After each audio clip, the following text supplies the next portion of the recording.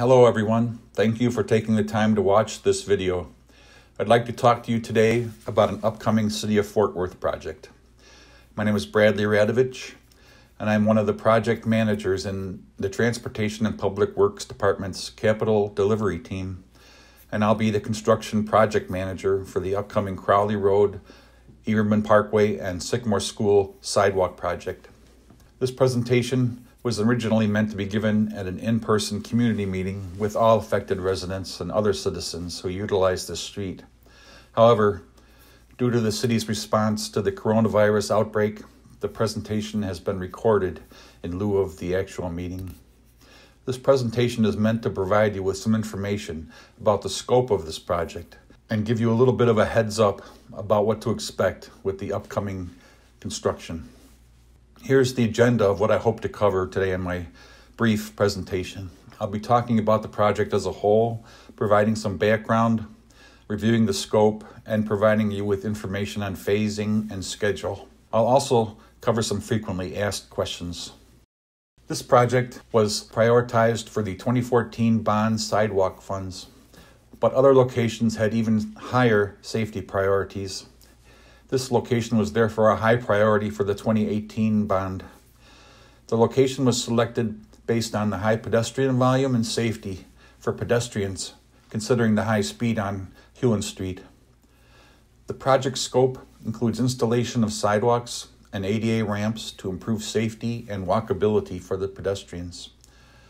City of Fort Worth, being one of the blue zone cities, encourage our residents to walk by providing them with safe walking facilities.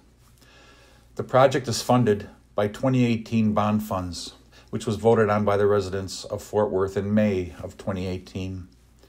An in person public meeting was conducted for this project during the design phase on February 20th of 2020.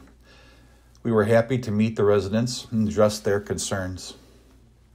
Slide 4 shows the project location and limits the project limits are Crowley Road from Alta Mesa Boulevard to Everman Parkway, Everman Parkway from Crowley Road to Sycamore School Road, and Sycamore School Road from Everman Parkway to Hemphill Street. Sidewalks will be installed along the east side of Crowley Road and the north side of Everman Parkway and Sycamore School Road. All sidewalks will be made ADA accessible by constructing ADA ramps. We will also be installing three bus pads at the Trinity Metro bus stops.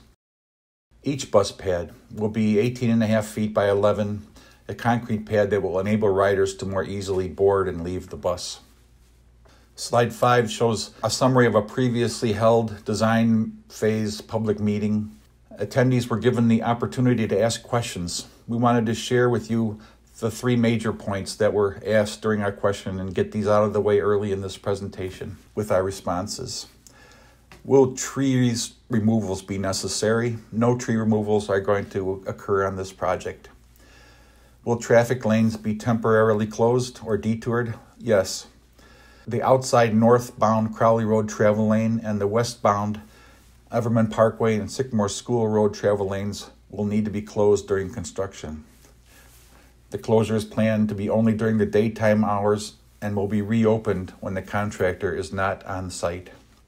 Coming to the project schedule, we have completed relocating the utilities that were in conflict with the proposed sidewalk design. We have also completed the acquisition of easements required for the construction of driveways and ADA ramps. We will be executing the construction contract in early June and are anticipating start of the construction on July 1st of 2020. Total cost of construction for the sidewalks on this location is $415,000, and it will take approximately four months to complete the project. To maintain traffic flow and safety of the construction workers, this project will be constructed with the outside northbound Hulen Street travel lane closed during daytime work hours. This lane closure is planned to only take place during the daytime hours and we reopened when the contractor is not on site. On slides 8 and 9, I'd like to review some of the more frequently asked questions. I'm not going to read them verbatim, but I'll just go over them. Basically, the questions deal with concerns about access and impact to neighbors during construction activities. We understand these concerns and want to let you know that you will have access to driveways at all times during the construction, and the sites will be restored to at least the condition that exists when the construction began. If there's any, at any time, if there is a problem that you would like us to address, our contact information is given on the last slide. Please call me or Mr. Noel Sanchez, the superintendent on site. The typical width of the sidewalk is going to be five feet and there will be some transitions to six feet at the curbs at the ADA ramps. Where existing trees are located, um, they the width of the sidewalk might be reduced to minimum of four feet to preserve the tree. Again, we're going to reconstruct the driveways in phases so that you have access at all times, which is very important for safety reasons. Irrigation systems will be restored or repaired and or adjusted by the contractor who has much experience in doing this. Those will also be left in a, at least as good a condition as they were found. And the construction materials left on site overnight. There will be construction materials left on the site, but the con- contractor is bound to prioritize cleaning the work site every day before leaving, and the travel lanes will always be open.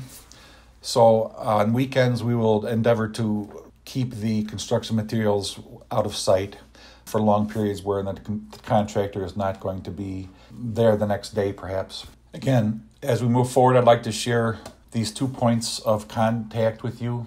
We look forward to improving the infrastructure within the city of Fort Worth, and thank you for listening.